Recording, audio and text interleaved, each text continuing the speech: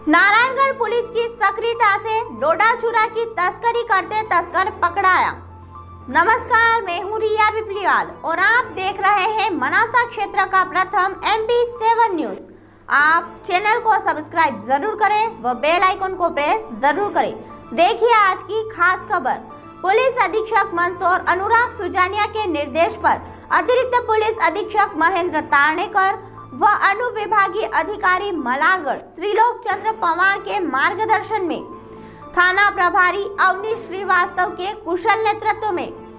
Narayangarh police team द्वारा मुखबिर सूचना पर कार्यवाही करते हुए बादरी फंटा बालाजी मंदिर के सामने से कार को चेक करते आरोपी द्वारा अपनी कार में छह प्लास्टिक के काले रंग के कट्टों में कुल 110 किलोग्राम अवैध मादक पदार्थ डोडा चूरा परिवहन करते हुए मौके पर रंगे हाथों पकड़ा, जिससे डोडा चूरा के स्रोत के बारे में पूछताछ करते उक्त डोडा चूरा ग्राम चिल्लोत पिपलिया के कमल सिंह पिता मदन सिंह सोंधिया से लाना बताया व ग्राम आंकली निवासी हेमंत को देने जाना बताया।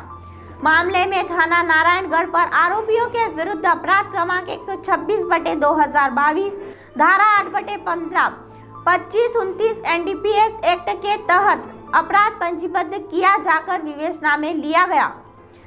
गिरफ़्तार आरोपी लाल सिंह चौहान, पिता करण सिंह चौहान, जाति सोंधिया, राजपूत, उम्र 40 वर्ष, निवासी ग्राम चिल्लोत, पिपलिया।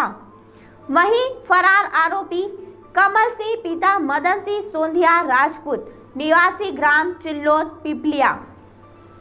हेमंत निवासी ग्राम आकली थाना मलारगढ़।